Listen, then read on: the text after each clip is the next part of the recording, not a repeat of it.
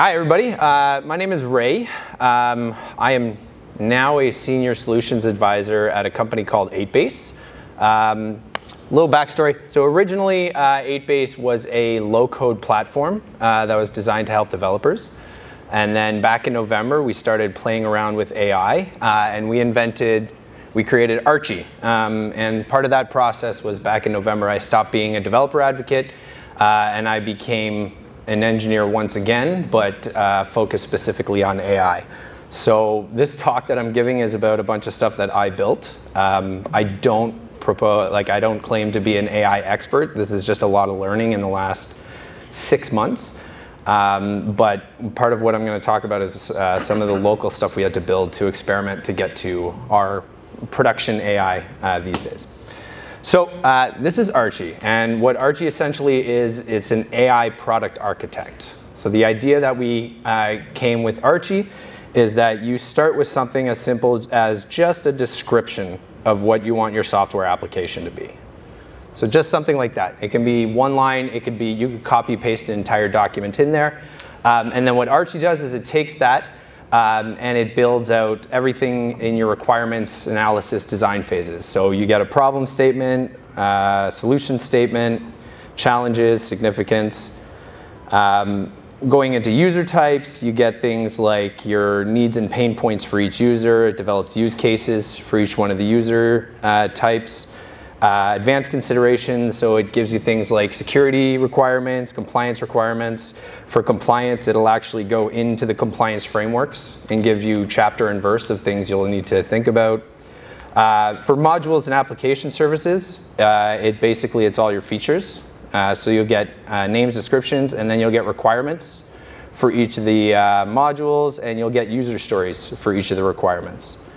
Um, and then getting into design, uh, talks about your form factors, it draws out a sitemap for what your application would be, um, and it even starts developing things like some mid-fidelity wireframes um, you know, that are responsive.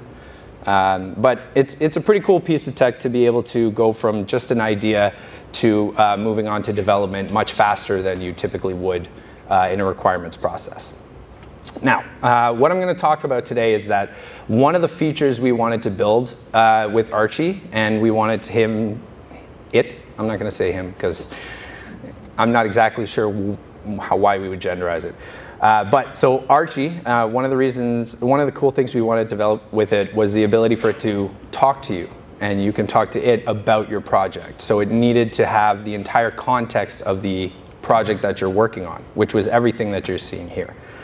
So we uh, developed this chat component, and we also have this architecture and planning component, which is a piece of the chat component, but focuses more on things like tech stack, scope of work, the ability to generate all this kind of stuff.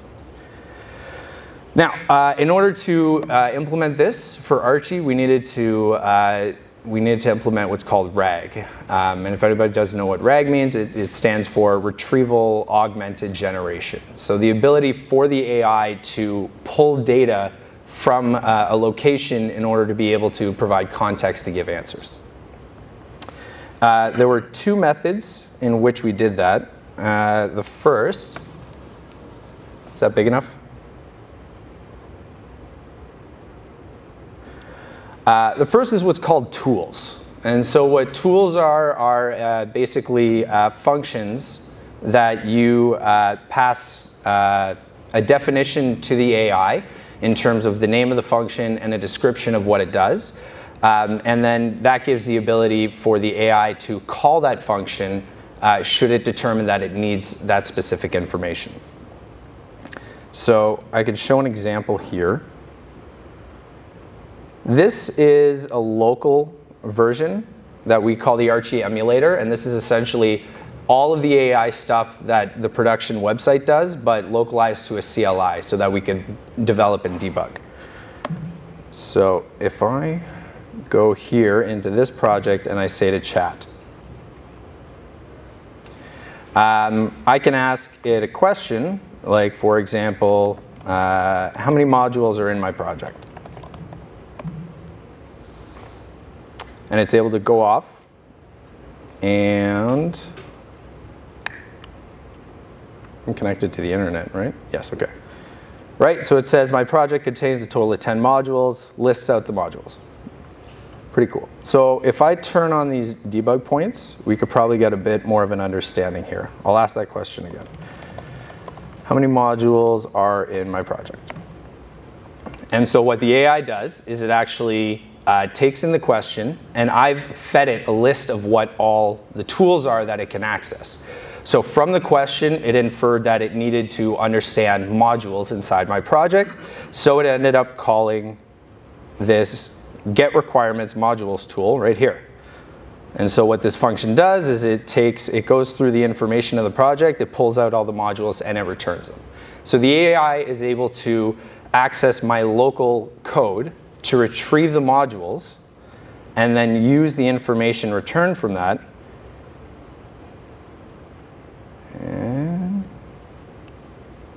in order to very slowly provide the answer.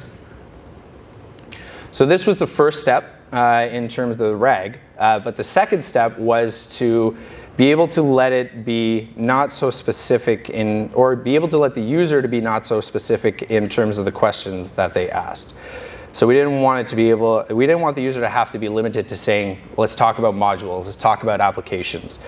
Um, this project here that's looking to be built uh, is related to animals. So if I wanted to ask a question, um, you know, uh, what parts of my project discuss veterinarians? Right? Uh, it actually needs to, it can't just go looking at modules, you can't just go looking at applications. And we don't really want it to have to call every one of the tools, trying to grab all the information and trying to get an answer. Um, that would be very long and it would use a lot of the context window. And uh, even though you know, a, uh, OpenAI and other models have like 128,000 token context windows, uh, you could still run out of that when you see all of this type of information that needs to come back.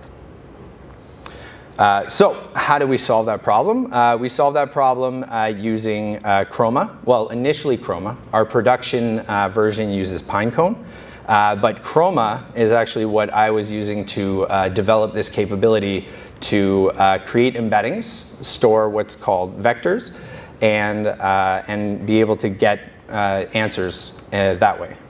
Um, I did a little, this is my easiest way to explain what vectors are uh, to somebody who doesn't understand vectors.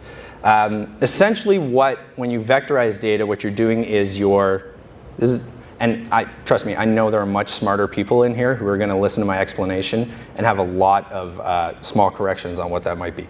But the basic understanding is that uh, in order to vectorize the data, it will take the data, it will, in this example, it will create um, almost coordinates for what that data is, and it will place it inside your vector store. So in this example here, we have the word farmer. And so uh, the vectorization created the embedding and placed it over here. And then it also, we vectorized the word keyboard. And so it created a, a, a location and it placed it over here. Then when we search for something like potato, for example, what will happen is, and oh, didn't want to do that. An embedding will be created for that word and it will search against, that drag sucks, there we go. It will search against uh, the vectors and return the closest ones. So the location that it creates for potato ends up about here and farmer is closer. So farmer will have a, uh, a closer score to potato than keyboard will. Does that kind of make sense? That's like my best way of explaining it. Uh, considering that you know I only know a limited amount. Um, so how do we do this here? Well, what I have actually done is I created uh, a whole synchronized embedding inside of our, uh, our RAG package. And what I do is I go through all of the data and for each one of the classes, um, I pull out the embedding. So I pull out the relevant information, things like the problem statement or each challenge for the problem statement. And every one of those strings we vectorize and we store inside of, uh, inside of Chroma or inside of uh, Pinecone, inside of our vector database. And then what we end up doing in that example, I'll turn these breakpoints back on, is if I ask that same question, uh, what, uh, what parts of the project discuss veterinarians? What happens is we actually have uh, passed a tool to the AI that's a search tool. And we basically in the description say, um, this allows you to search across the array of data in order to find answers. So you can see here we have this search function. And what this search function does is it does a similarity search based on specific words. So here it says uh, the AI determined that we should try to find veterinarians inside of the data. So we're doing a search on veterinarians, and then when the results come back, we have this list of results. Let's see if I can find a better way to show that. Nope. So this list of results here is actually a list of documents where the vector uh, is related to veterinarian. So here we see veterinarian, and then I have a bunch of additional metadata plugged in saying, so veterinarian here, uh, the metadata shows that this is uh, a user type inside of the blueprint. Um, and the project is the project we're working on. Uh, there's an identifier for that. So what it'll do is that it'll then take the results of the search and uh, depending on what information it gleans from the vectorizing, it'll actually end up calling other tools in order to pull more information. So for, in this example here, it found a user type called veterinarian. So now it wants to pull all of the information for that user type in order to get more context to provide the right answer. So I'm actually going to turn those breakpoints back off because it could end up doing like nine or 10 calls depending on what we want. But once it does all that, we get the answer. So we have a user type of veterinarian, and we saw that whole big spiel that happens. Um, now, when it comes to using Chroma, it's pretty awesome because you know people get very uh, daunted by some of the technology that's involved and some of the SaaS products they have to work with in order to use some things.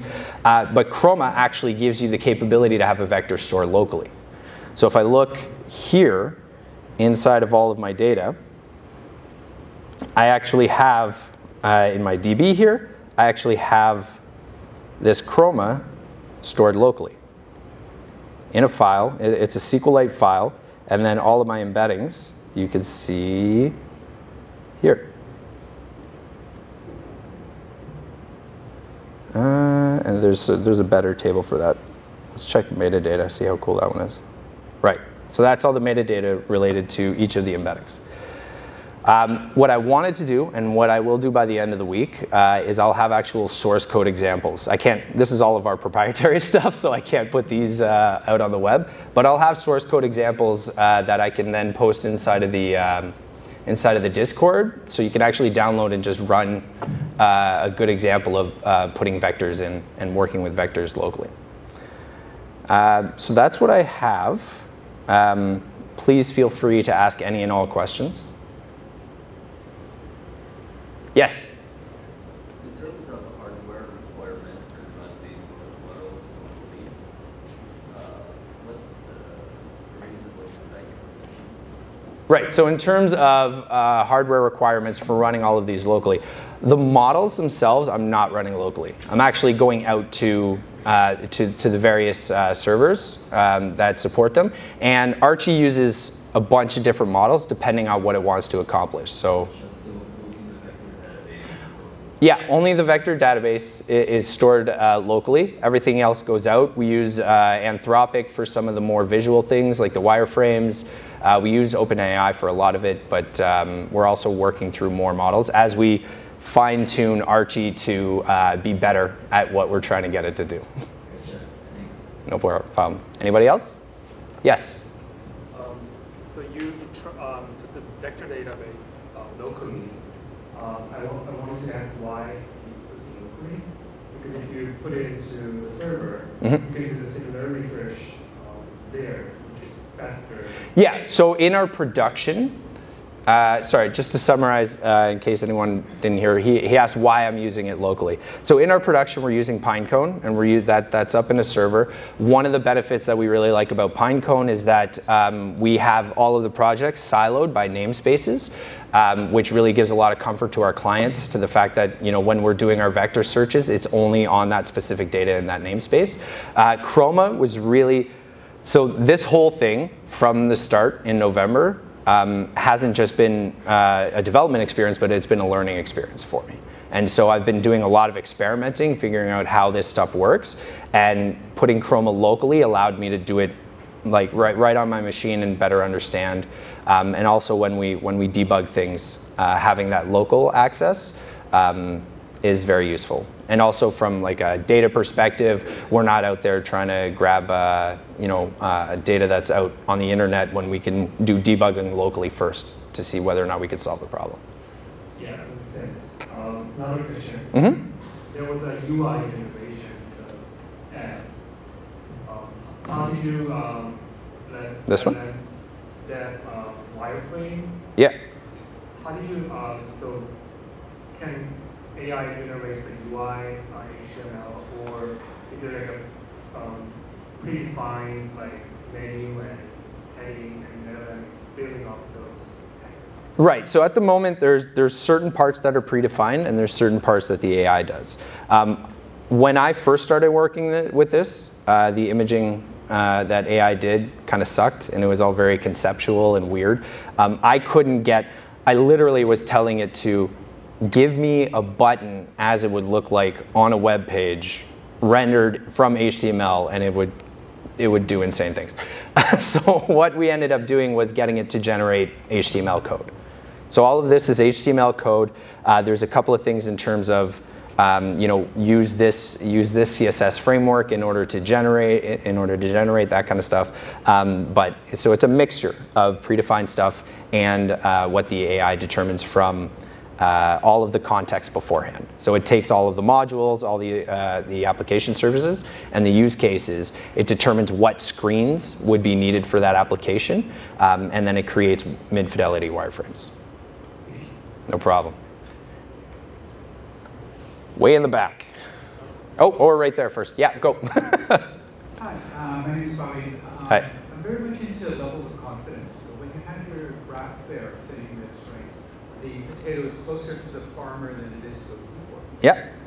Uh, does the um, the RAG framework give you the uh, what I call a level of confidence? How uh, confident is it, it's uh, uh, a farmer than a potato? Yeah. So, sorry, keep going.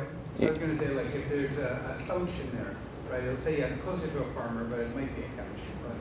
Right, yeah, so, uh, I mean, I, let's ask, uh, where in the project, in the project do we discuss couches? Uh, oh, did I, no, enable, oh, I caught it, good, awesome, all right.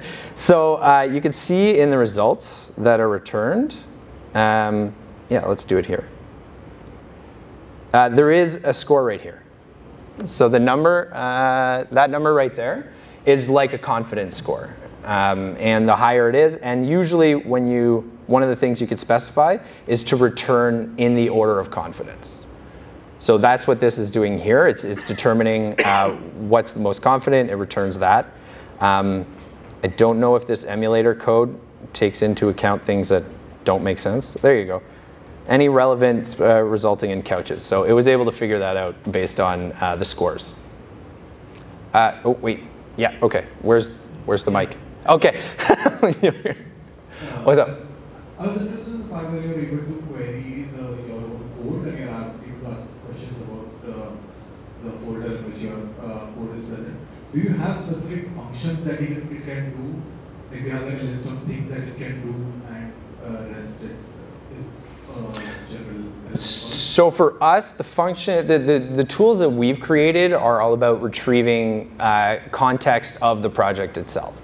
But when it comes to AI, you can essentially create any tool that you want. You just create a function that executes something, and as long as you describe it well enough to the AI what that tool will accomplish, uh, it'll execute that code. How does it go from uh, like I understand where you say that you have these many tools and the AI has to decide which one this particular prompt should go to. How do you do the uh, networking from there to the tool? How does that work? Like, what does the LLM give you in response? Oh, uh, that's a good question. Essentially, what we've done is we just feed the tools in and we ask the question. And sorry, so we use LangChain along with uh, uh, along with uh, all of this stuff. And LangChain is, it figures all that out for us. We actually didn't have to do a lot of work on that. We just said, ask the question, here's the tools available, and it does all of the back and forth. Is it those routers and the LangGraph thing? Sorry? This, there's, in LangGraph, I think there are a few concepts like routers where it helps you redirect your workflow. Is it one of those? What, how do you do it using? Oh, uh, let's see if I can find it. Uh, it would probably be under RAG. Oh no, uh, it's under chat.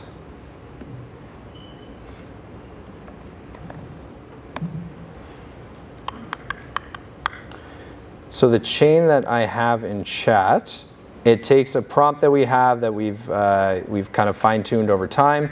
Uh, it adds in specific information.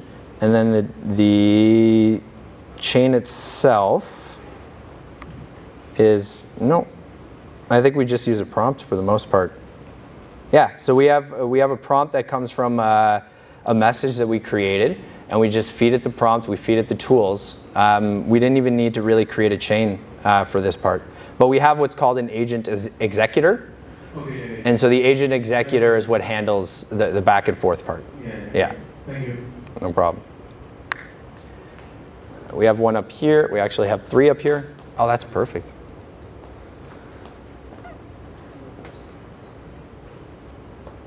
How are confidence scores calculated? Oh, that's, that, that's above my pay grade. It's just the vector distance. Sorry? It's just the vector distance. So the vectors that you're showing, just the length of the Right. vector between them is the value. Yeah, so that, yeah, that makes sense. So it's like the, the, when I was showing this, right? It's the distance. It's the dot product. Right? It's, so it's the distance between the two. So it calculates, it takes the word, it breaks it down the same way the location did when it was creating these embeddings, and then it calculates the distance between the two. Do you know which metric is this? Is it cosine similarity? Uh, there, there's multiple, like you could choose. There, there's a bunch of different ones. Uh, we use the default because I'm not smart enough to figure out the rest of them. So Thank you. no problem. Uh, yep. I'm curious, uh, do you see this being used more at the beginning stages of a project, or are you looking for it to be used over the course of the entire development? Archie itself. Um, so we've, uh, at this point, we've determined two different main uh, user types. The first is an ideator, someone who, you know, they have an idea for a project, um, and this is a great kind of starting point to flesh everything out. Uh, the second is agencies, because agencies uh, have leads coming in constantly, um, and right now it takes, it takes real time and effort to uh, to prep even for that first initial meeting uh, with their leads to, to even try to win a project. Whereas here with Archie, they can plug the idea in. They could have, so this whole process, um, you can have, go from your idea to having all of this fleshed out in, um, in less than a day. And so you could prep for a lead, uh, like a first meeting with a lead in less than a day and have so much more ready for that first meeting. If I can ask one follow-up. Yeah? Um, if you, let's say I was a client Mhm. in a niche market and I had my own way of uh, defining a, an idea to give to a client, Mhm. am I able to tell Archie, hey, this is the way that I want you to formulate, I want to use these business philosophies, what have you? Yeah, Is s- there a fine tuning in that sense? Right. So uh, there's a couple of things. Uh, we're, we're working on uh, implementing a lot of organizational features. One of the ones we have right now is you can predefine like a preferred tech stack, and you can predefine uh, an outline for a scope of work. Right. So this like front end technologies, and then this scope of work here, right here, you can predefine the format for that. Some of the other things we're working on right now um, is uh, the ability to white label things so that when you export it, it's exported uh, with your own company name on it. Um, but the other piece about this is for the architecture and planning, we didn't want it to be as rigid as a requirements design. We wanted the ability for Archie to generate you a scope of work, and then you say, well, no, like I want this focus, or can you include cost estimates based off this? So it's the the point of uh, the architecture and planning being conversational was was on purpose in order to accomplish that, and also to give it the ability to say exactly here, output it in Polish so that if you have clients, they can out, they can uh, translate, which is pretty cool. We'll do one more question. One more question.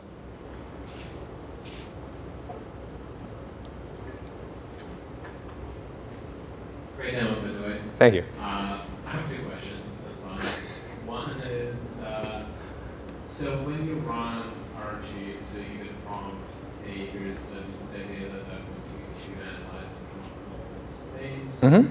Uh, in total, how many requests do you end up sending to LLMs? Right, so that is a bit of a loaded question in the sense that we designed Archie to not be a one-shot AI.